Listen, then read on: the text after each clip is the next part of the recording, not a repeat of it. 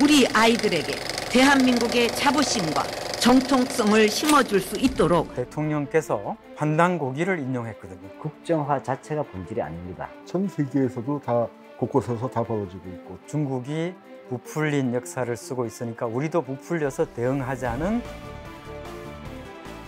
편향된 역사 교과서를 바로 잡아야 일본에서 극우파가 책을 써도 이렇게는 못 씁니다.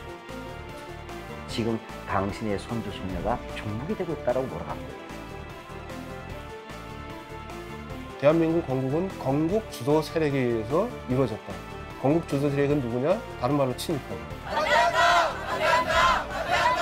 제 친구들도 제게 연락을 해서 국정 교과서 한다는데 이게 무슨 이야기냐 내가 어제까지 배웠는데 이게 왜 교과서가 잘못됐다라고 이야기하느냐라고 물어보고 함께 하고 싶다라고 연락하는 모습도